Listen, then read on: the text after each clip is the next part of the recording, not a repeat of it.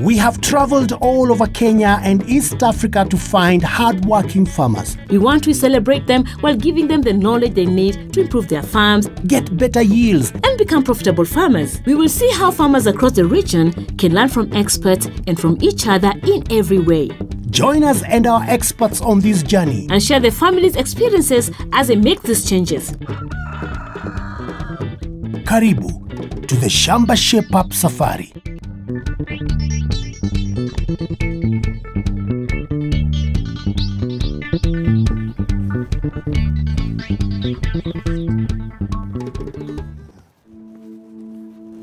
Welcome to Shamba Shape Up. We are in Lekitatu village in Meru district in Arusha, Tanzania. And we're here to meet a farmer who has problems with her shamba. Well, let's go and meet her. Walking through the beautiful rice paddles, we went to meet the 43 year old Lilian Enoch. She lives on this one and a half acre shamba tucked away in the Kitatu village in Usa River, Arusha district. The main farming activity here is rice production. She lives here with her children and husband, but they have so many problems with their shamba. We decided to come and see if we could help them. I keep dairy cows, dairy goats. I've got a fish pond. I have rabbits. I grow rice and maize. My challenges are many, both on livestock and crops. On chicken, Newcastle is my biggest problem. They also get chicken pox when they are three weeks old. On rice, I think my soil is very salty. If I get an expert, I would really be happy. I educate my children through farming. If I don't plant and I don't keep animals, my aim of being on top will not be achieved. I want to be on top with success as tall as Mount Kilimanjaro. Wow, Lilian is a very hardworking farmer. She's got cows, she got goats, chickens, ducks, you name it. She grows rice and maize. Hmm, but she has problems. Now, the Newcastle disease has affected many of our chickens which have died. Then the soil acidity is also affecting the rice. So we are here to help. Yes, Shamba Shape Up is here, and together with experts, we'll make sure that she's truly shaped up. So we set up our base tent and got down to business.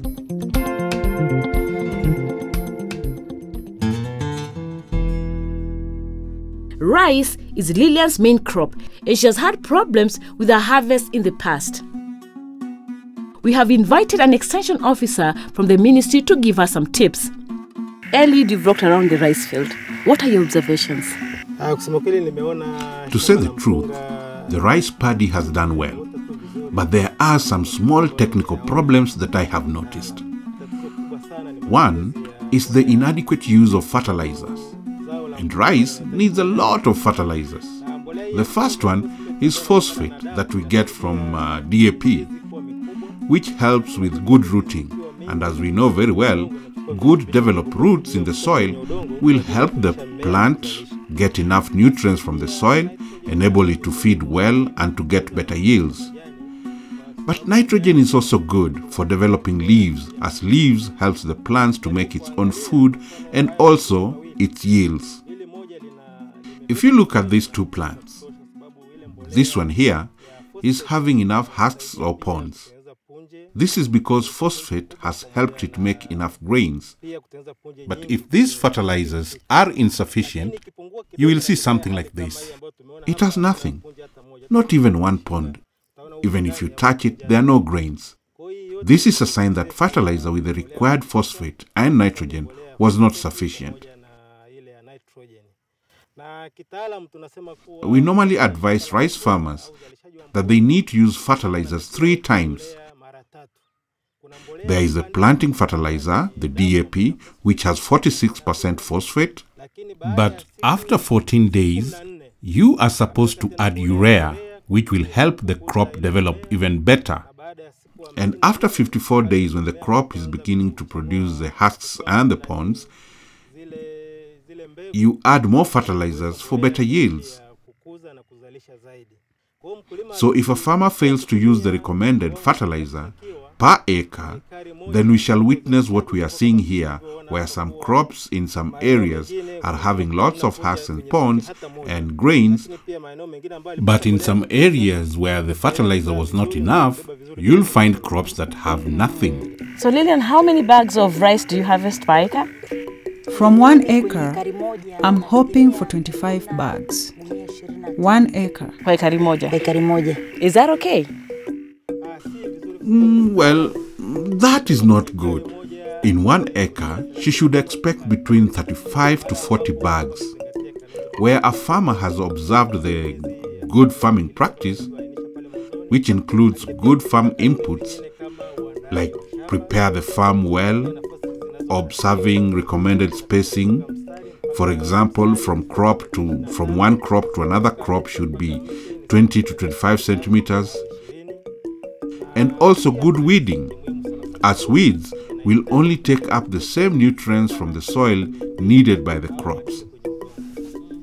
So, um, if you let weeds continue competing with the crops for nutrients intended to benefit the crops, then your crops will not do well.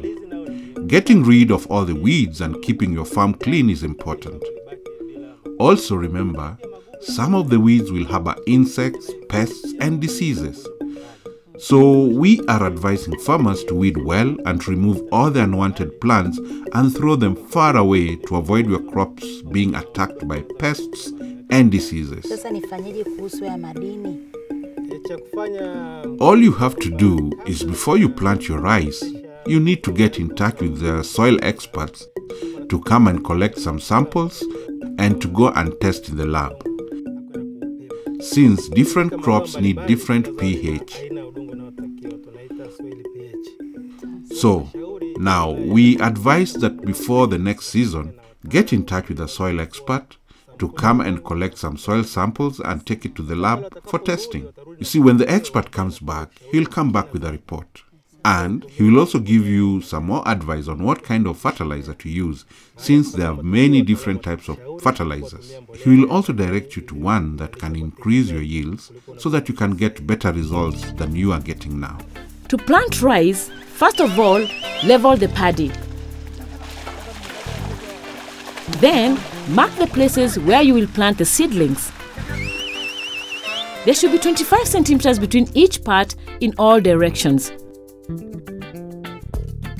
Make sure you plant the seedlings within 30 minutes of taking it out of the nursery so it does not dry out or die. Usually, farmers throw fertilizer over the crops or broadcasting. This wastes a lot of fertilizer and money. A cheaper and more effective way of it is place the urea fertilizer into the soil near the plant. This slowly spreads through the soil to feed all the other plants around it. This method is not only to save money but also increase your yields by 20%.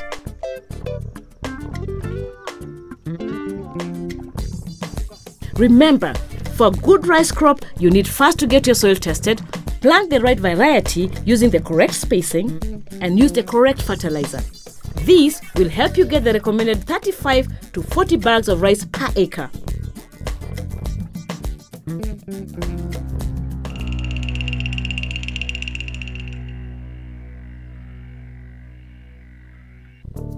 With the changing weather, it's becoming difficult to plan when to plant or harvest crops.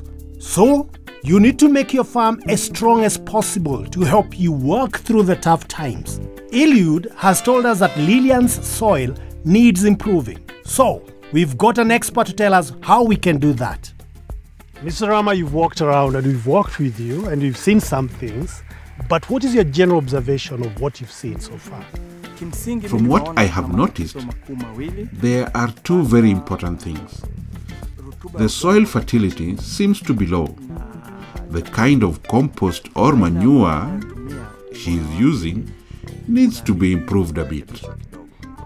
If you take a look at this uh, compost or manure, it is mainly composed of crop leftovers, and the cow dung is very little. This ratio is not right and uh, can fail to bring the desired results. Those are the two things I have noted. Yes. And so, what should Lilian do? Kwa ushauri wako Oh, well, it is my opinion that um, this manure should have been given more time to rot and uh, mature well before being taken to the farm. As it is now, it is just like you have mulched your farm To make good manure for your shamba, collect all the farmyard manure from your animals once a week.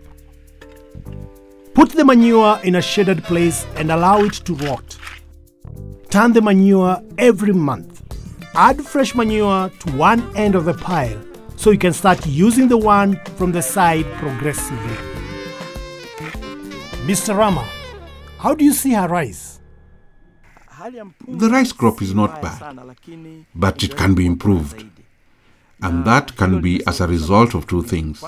This manure is not sufficient for the crops, and the type of fertilizer she is using is not providing the right nutrients that is needed by the crops here.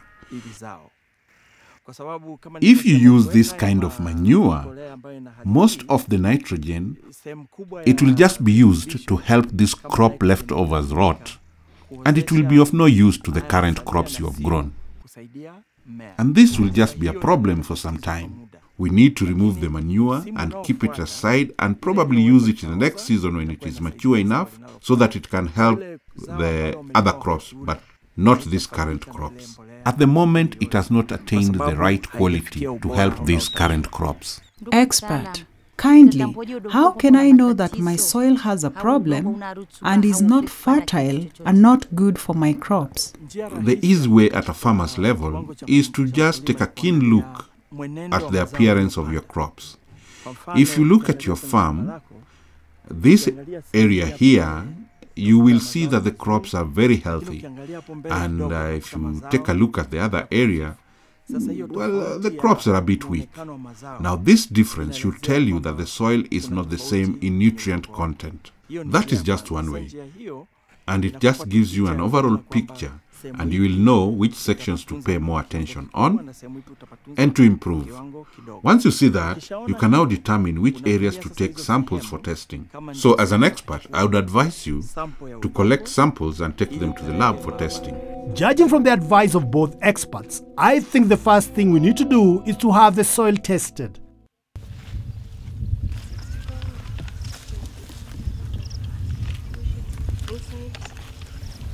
There you are, Naomi. Yes, where are you going? Where are you going? Well, to collect soil samples, you? Ah, I'm going to do the same. Okay, let's go together. Good. Okay. We asked our good friends from Soil Cares to come and help us collect the soil sample and do the soil test. To collect a good soil sample, dig a hole one foot deep in your shamba with a panga.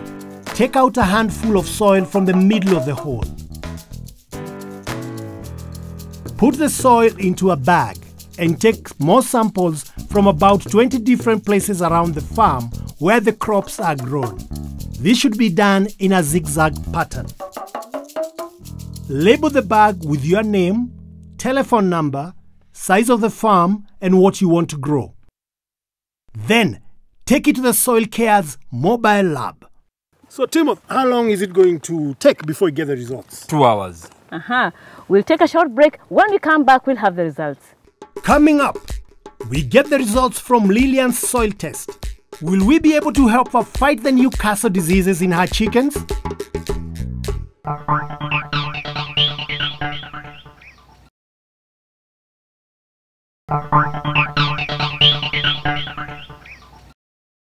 Welcome back to Shamba Shape Up. We are still in Lekitatu village, Meru district in Arusha, Tanzania. Where we are still shaping up Lilian's shamba. And now we have results from the soil test. I'm sure she's eagerly waiting for them. So let's go give her the results.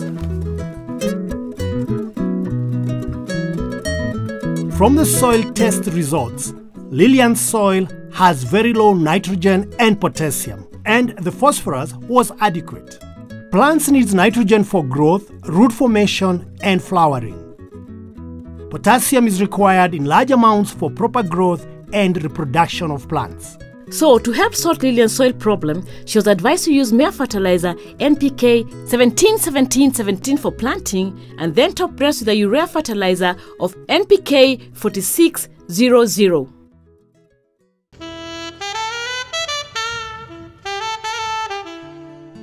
Lilian is trying to build a successful chicken enterprise.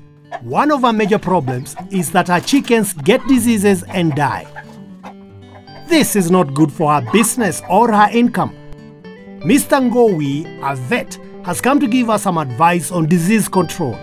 So, Lilian, what are the main problems with your chickens? Kuku wangu magonjwa yanayowasumbua My problems with the chicken is Newcastle, and their eyes are swollen. Zile za kuvimba machoni. Mr. Ngowi, what is Newcastle disease? Um, Newcastle disease is, uh, is a viral disease, but it's a very fatal disease which can kill a lot of birds at the same time. So it's a big problem in Tanzania and in most of the Af- other African countries. What are the symptoms of Newcastle disease? The, the animals just die one or two, and the production drops very fast. But the other clinical signs which you ca- uh, can be noted in general uh, is that the, the animals will lose weight, they will not eat. Suddenly, they will have difficulty in, uh, in getting air through, the respiratory system is affected. Other signs are trembling, sometimes the neck is twisted, and the legs they become paralyzed, and incoordination comes in. So you've got a mix of respiratory uh, signs. Neural system is affected. How does a farmer prevent his chickens from getting uh, the Newcastle disease? Newcastle disease can be easily prevented by using vaccine. The vaccines are available, but for small farmers like Lilian here, uh, we have got the thermostable vaccine, which does not need uh, a lot of uh, cold chain facility, and they can be purchased from a veterinary shops in town. What is the packaging of, the, of that vaccine? How many doses? A pack is enough for 400 beds. Now, if a farmer like Lilian here vaccinates her chickens, is, is it is it also good to for the for the neighbors to vaccinate their chickens too? it is good for all the people who are keeping birds to vaccinate because a disease can act, uh, uh, occur in other people's farm and it will affect you. But if all the neighbors have vaccinated the animals, it means the immune status of the birds around, surrounding Lilian and his neighbors, the immune st- status will be high. A farmer like Lilian can buy the vaccine in town, uh, bring it in, and it's just a drop. You just catch the bird and you just put a drop on, on the eye. One eye, one drop. That's enough. I think now we are ready to vaccinate. Lilian, let's go and vaccinate. You should give one drop in each chicken's eye and wait for the bird to blink the vaccine into its eye. Vaccinate all your birds at least once every three months and vaccinate chicks when they are 14 to 18 days old and repeat after 28 to 32 days.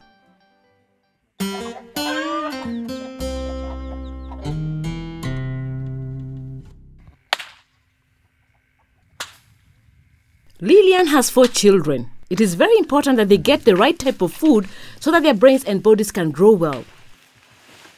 She has some of the right ingredients for a good diet already, like milk, fish, eggs, chicken, and rice. But we ask Alice to visit to shape up her nutrition.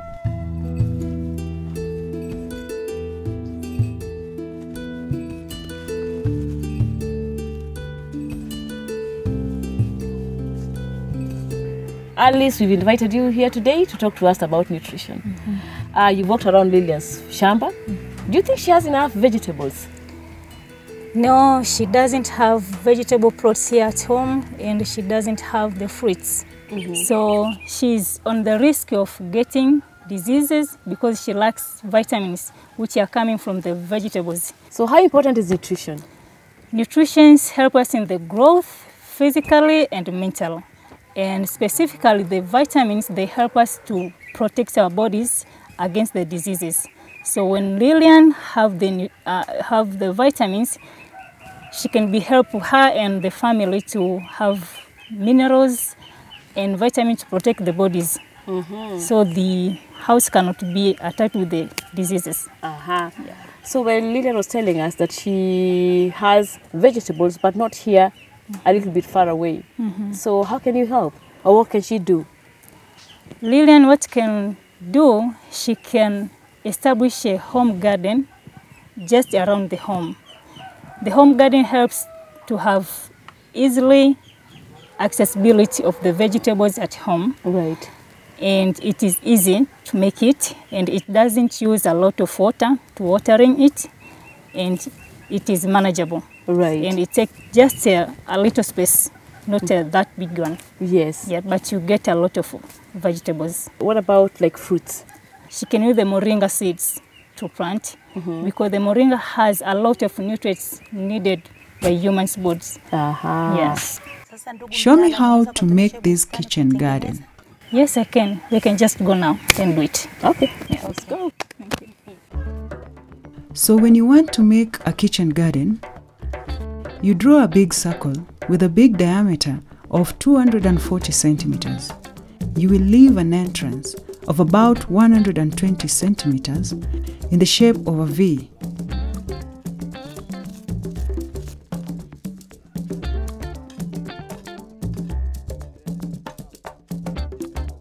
After you have made your circle, we now arrange stones around it like a wall along its circumference of a height of 50 centimeters.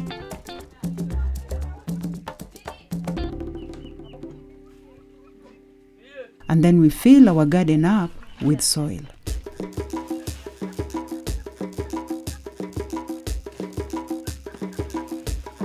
Once the soil is enough to our requirement, we mulch it up and make planting holes for our vegetables.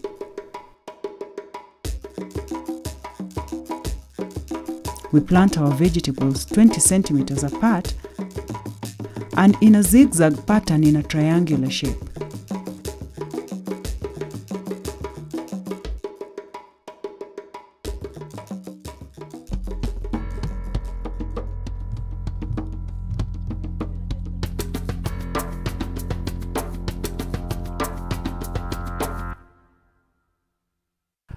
Learned so much from this shamba. And with all the expert advice she's gotten, Lilian now is truly shaped up. Lilian has learned so much today. We hope when you come back, her chickens will be free from disease and her rice yield will have tremendously increased. Naomi, I think we have learned so much on this shamba. And with all the expert advice Lilian's got, she is truly shaped up.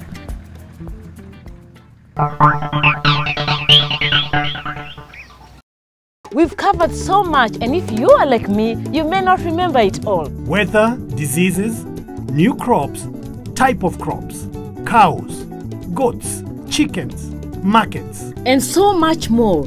Shamba Shape Up has a service to help you, so you don't have to remember everything.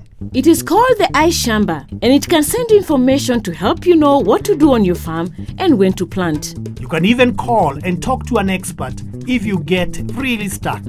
Just send an SMS with the word JOIN to 21606.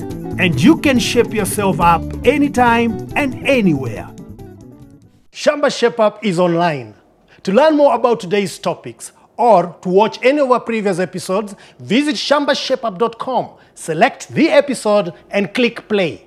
You could also visit our Facebook page, Shamba Shape Up, to get more information, get involved in discussions, and also get a chance to enter some of our great competition to win great prizes.